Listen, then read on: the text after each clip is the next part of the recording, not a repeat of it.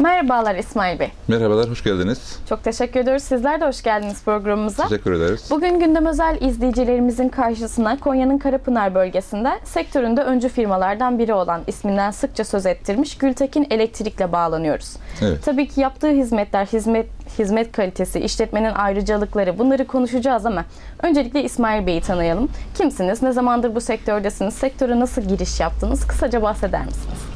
İsmail Gültekin, eee, Konya Karapınar doğumluyum.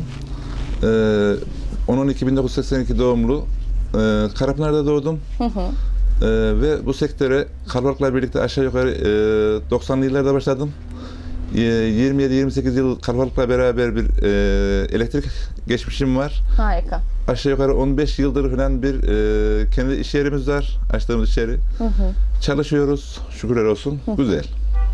Baştan yetiştiniz, pratiğiyle öğrendiniz, deneyimlediniz ve Evet. şu an e, 15 yıldır da bu ismi kullanıyorsunuz. Bu şirket altında Evet. hizmet vermeye devam ediyorsunuz. Peki Gültekin Elektrik başlığı altında neler yatıyor? Yani biz kapıdan gire, içeriye giren bir müşteri için ne gibi hizmetler sunuyoruz? Biraz detaylandırabilir miyiz? Evet. Ee, bizim e, inşaat sektöründe inşaat elektriği tesisatçılığını çalışıyoruz. İnşaat elektrikleri yapıyoruz. Ee, Karapınar içi, Karapınar dışı köyler, yaylalar.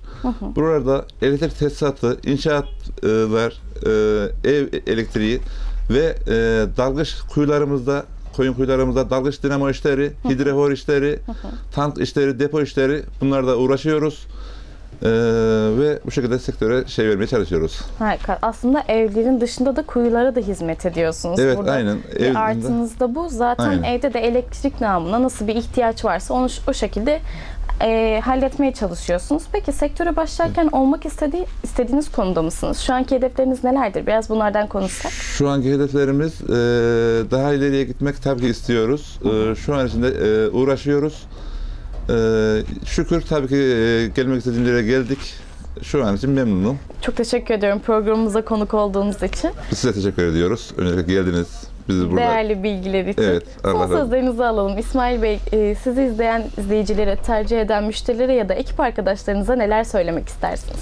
ekip arkadaşlarımıza e, ve bütün izleyicilerimize e, bu işte, bu sektörde güvenlik sağlamak için tabii ki e, güvenilir olmanız gerekiyor. Belli bir geçmişiniz olması gerekiyor. O yüzden de e, iyi yani şükürler olsun. Aynı devam ediyor ve burada çalışıyoruz. Harika. Sektörde uzun yıllar Gültekin elektriği duymak dileğiyle. Hoşçakalın. Sağ olun, teşekkür ederiz.